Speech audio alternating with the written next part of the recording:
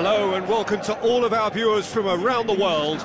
We have quite a game in prospect here, just waiting for the players to emerge, and we will be underway. The teams then, Villarreal against Real Betis. I'm your commentator, Peter Drury, and providing his unique brand of expert analysis, here's Jim Beglin. Hello, Peter, and hello to everyone watching. For me, it's a, it's a real thrill to be here.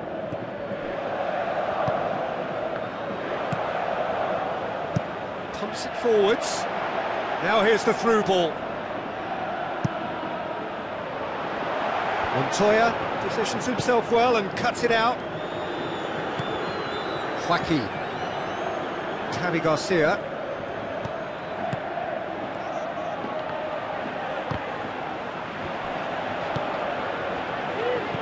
Aimed long and direct. Javi Garcia. It's not the game we were hoping for, Peter. I think both of these keepers could text about their respective uninvolvement.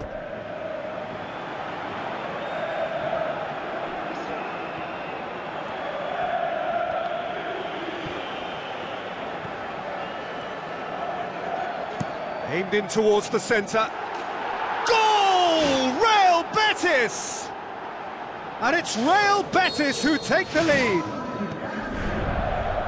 Time and space aplenty, he was never going to miss.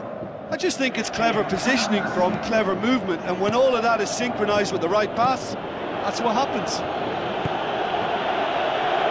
Real Betis draw first blood here. Yeah, this is also a chance to see what happens to their level of concentration from here. That's a throw.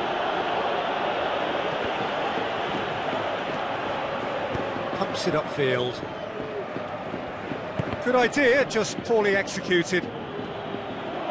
For a moment you felt that was going somewhere, but they'll have to go again.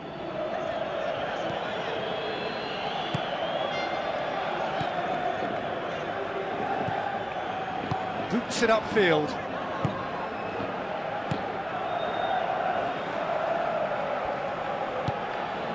Javi Garcia, who does have an assist to his name.